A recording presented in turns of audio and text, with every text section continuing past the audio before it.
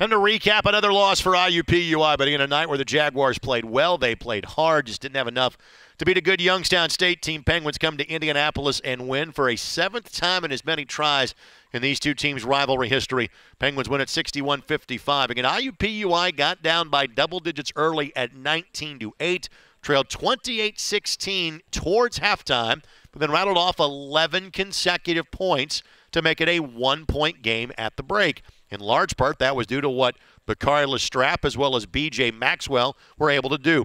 Maxwell would finish with 22 points. That is a new career high. Bakari LaStrap would finish the game with 15. And it was an IUPUI team that was undermanned, played just six players in tonight's game. That has been the case now for each of the last three games for IUPUI.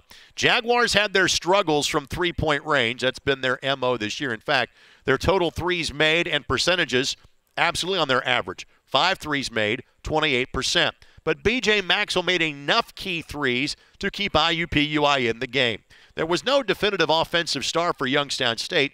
I mean, we're showing you is Miles Hunter. Hunter averages five points a game. He made his first four field goals, finished the game with 12, one of four players in double digits for Youngstown State tonight. Penguins now 13 and 10. Jaguars fall to 2 and 18. Jaguars will do it again coming up on Saturday at noon when they look for their first league victory against Robert Morris. This is Greg Rakestraw. Thanks for joining us for IUPUI basketball.